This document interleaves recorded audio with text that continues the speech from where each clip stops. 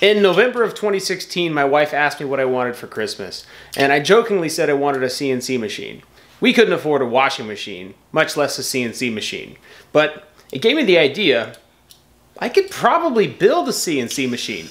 So that's where this whole process started. So, using the $200 I had saved in my PayPal account from selling things on eBay, I bought a CNC controller kit and started building. The machine was really something, and not in a good way. It showed me everything I didn't know about CNC machines, and building things, frankly. The thing was a beautiful disaster, or maybe just a disaster, but it worked really well, so I could finally set my imagination free in the realm of numerical control. Now, I could have done many videos on how poorly this machine was built, but I finally had a CNC machine in my garage, and that's all that mattered.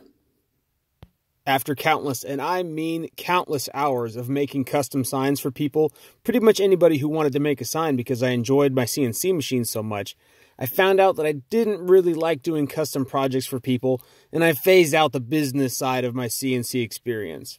Right about this time, I started getting paid by YouTube for videos that I had posted years ago. So I decided that I would focus my free time on making videos rather than pieces of wood with other people's name on them. But there was no way my pride would let me post that awful machine on YouTube, so the stage was set for a fresh, from scratch CNC build. The new machine would start out the same as the last, a CNC kit from eBay. I went with a 5-axis CNC controller with external drivers. The motors, NEMA 23s opposed to the NEMA 17s I used on my last machine. The structure would be all metal, mostly inch and a half thick angle profile, about a 16th thick, and 3 16th plate. The linear rails would be made of the same angle profile I used everywhere else, with 606ZZ bearings for gliding surfaces.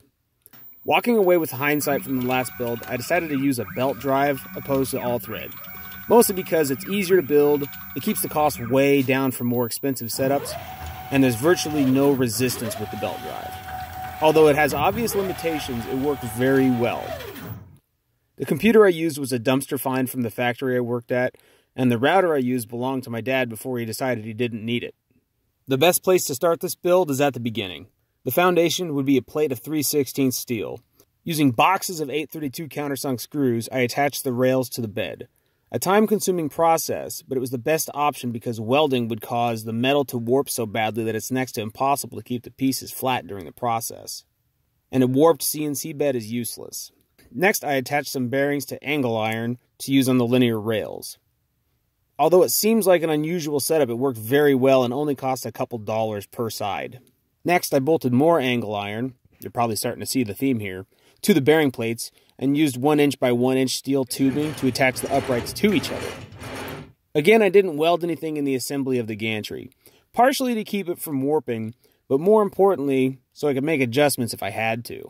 I had to get a little creative to get the bearings to the square Y-axis rails, but the principle is the same and I was extremely happy with the results.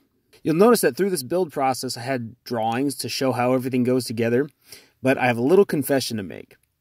I didn't design the CNC machine. I mean, nobody else did either, though. My dirty secret is I don't like designing things. I find that when I try to design things, I get really frustrated from my lack of imagination and will often give up.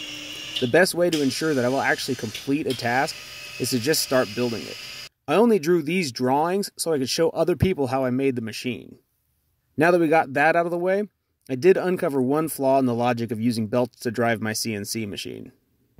The belts worked great for the X and Y axis, but that's because there was no static load on the motors, meaning that the only time there was any load on the motors is when the motors were turning themselves. They were designed to work this way, so it wasn't an issue. But the Z axis is supporting the weight of the router and the bearing plates, this meant that there was a static load on the z-axis. And the stepper motor I was using for the z-axis didn't have enough holding torque to overcome the weight of the axis itself. This meant that the whole setup would just fall to the bottom limit of travel every time the motor stopped turning. So, tail between my legs, I built a Z-axis drive from quarter inch all thread and changed the plane of the stepper motor. A stepper motor works using what's called steps. So effectively that means the motor knows where it is because it knows how many steps it's taken in a given direction. This particular one is 200 steps per revolution. So with the pulleys that I was using, it's one revolution per inch or 200 steps per inch. But when I went to the quarter 20 all thread, that means it's 4,000 steps per inch, so we have a lot higher resolution. And that's better for all sorts of complicated reasons. But it was really just a side This effect because... the door. That's the door? And and I was chasing her and yay. So we switched to the quarter 20 all thread for a very specific reason, but the higher resolution is just a benefit of that particular setup. So we're just going to take that as a win. My CNC computer is running Mach 3 on Windows XP. I went this route because I already knew how to operate it. There are plenty of free softwares out there, but I spent $150 because Mach 3 is wildly popular and I didn't know enough about CNC machines to know any better. I know lots of people are going to comment on how I should have used Linux and I'm stupid for spending the money. Now, I'm happy you guys like programming your antique little penguin computers, but I'm a mechanic. I'm not a software engineer. I honestly don't have time and energy to learn any of that. Mach 3 is everywhere, and I knew if I had a problem, I could figure it out quickly. That's why I went that route. Now, obviously, you're going to need files of G code to run on this machine. I use Fusion 360 to build my CAD files and generate my G code. Fusion 360 is able to build CAD files and generate the code from the same software, so it is extremely convenient. Now, I honestly don't like Fusion 360. Again, I am not an engineer, but I feel like it's just not very intuitive software and can be downright torture to get your designs right sometimes. But it was free when I first started using it, and I don't like spending money, so here we are. With the G code generated and dropped into Mach 3, and the CNC computer plugged into your CNC controller, we're ready to roll. Finally, I strapped my dad's old router to the Z axis and was ready to get cutting. Now, pretty early on, I was able to tell that something was going wrong, but then it became a lot more obvious pretty quickly.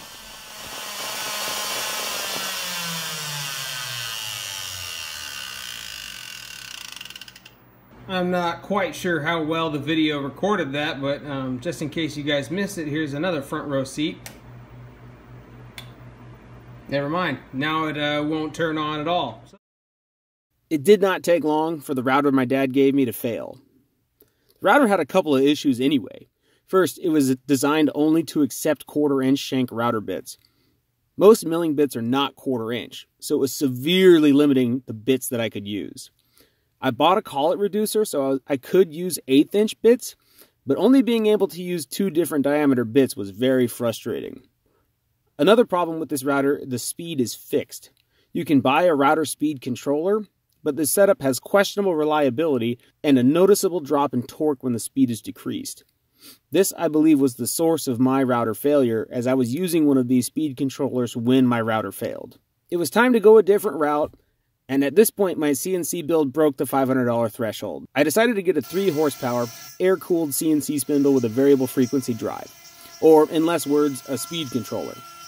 I did manage to get a good deal on the setup, but I doubt you'll be as lucky as I was. I got the combo for $200, and it came with a whole pile of collets that all fit into the spindle. At this point, you guys are up to speed on my build. Overall, I'm very happy with the build, but I would be lying to you if I told you this is the last CNC machine I'm ever going to build. So at the end of the day, I was able to make a functional CNC router for about 500 bucks. I actually was a little bit under $500, but as soon as the router failed, I didn't want to just put another router on there, which is why I decided to go with the 3 horsepower spindle. Obviously, it's a little bit more money, but I'm getting way more router out of the deal. Definitely a better setup for this particular machine.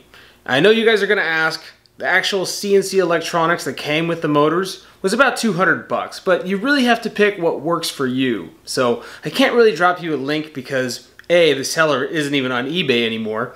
Those guys from China are a little bit flaky. And B, because I'm not actually endorsed by anybody, so I'm not going to recommend that you buy from any particular person. Figure that out for yourself. Now, if there's any more detail that you want for the CNC build, you're in luck because I actually did it in four separate parts. So you're actually able to look inside the description of this video. There's gonna be all four videos. There's tons of information built into that series. If you have any questions, feel free to reach out to me, but definitely watch those. It's gonna answer way more questions than I'm gonna be able to do. If you're following my claw machine build at all, progress is going agonizingly slow because I'm actually working more than I was before thanks to this COVID-19 stuff. I know that seems like an unusual situation, but I'm trying to work on it as much as I can, but there's a lot of detail that goes into making something like this, and I want to make sure that I do it right because I really only want to do it once. Now, I would have done the CNC video sooner, but as it turns out, the CNC videos that I've already posted didn't really help my channel. As a matter of fact, I haven't really figured out what YouTube wants me to make. The stuff that ends up being really successful is never what I expect, and the things that I think are going to be successful really aren't what hits. So I don't know. Maybe someday I'll figure it out, but right now I don't have it figured out. Anyway, thanks for watching. Hope you guys enjoyed the video, and thanks always for doing your part to help make this world a strange place.